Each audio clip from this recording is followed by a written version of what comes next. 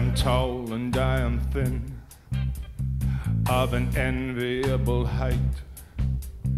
And I've been known to be quite handsome from a certain angle in a certain light.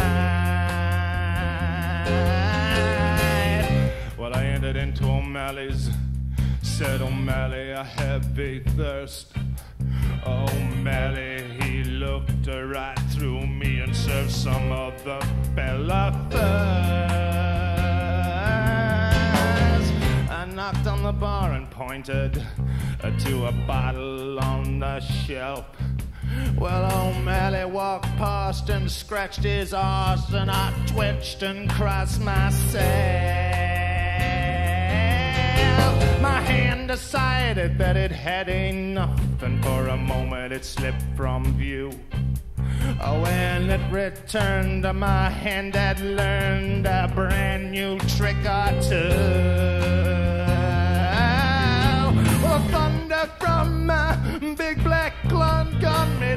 The glasses jangle.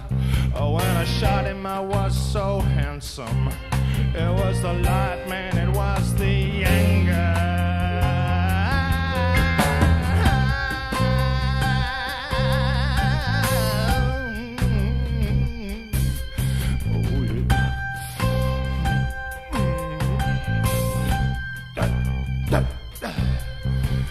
Neighbors, I cried. Uh, friends, I screamed. I banged my fist upon the bar.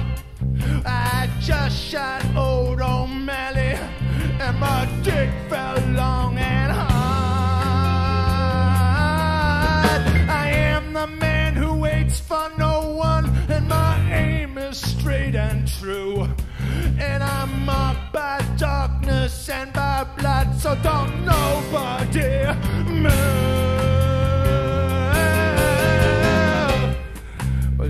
Those fish with the swollen lips that clean the ocean floor? When I looked at poor old Mally's wife, that's exactly what I saw. I jammed the barrel under her chin, and her eyes bulged just like those nasty little fish. Her head it landed in the sink with all the dirty dishes.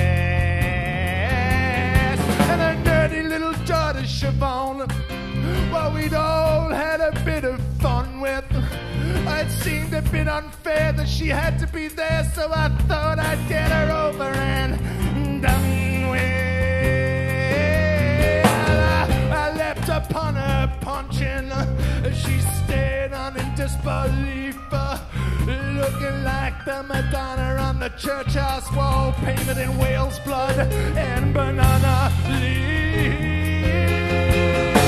Left hook, right hook, left hook, right. Spun round and round. I brought a mighty punch up from the floor and I lifted her off the ground. Her head caved in like a melon, and my fists were gloved in gore. And I shot Counselor Caffrey in the back of the head as he made a